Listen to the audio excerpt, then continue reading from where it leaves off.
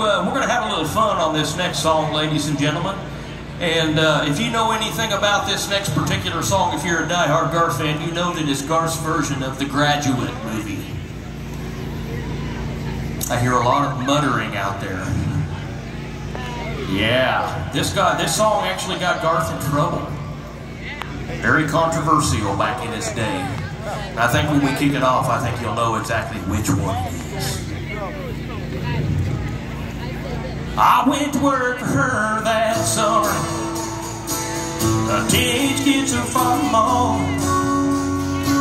She was a lovely widow woman.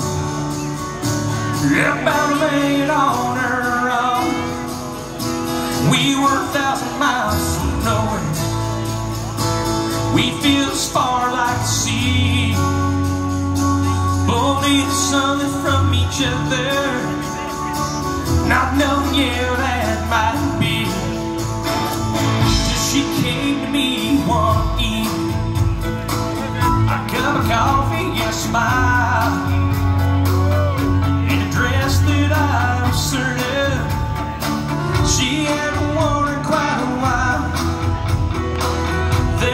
Difference in her laughter.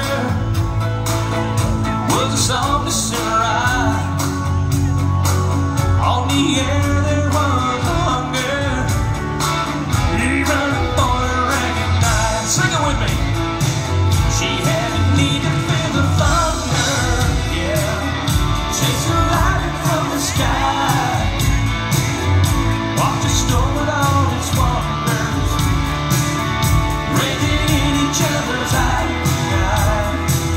She had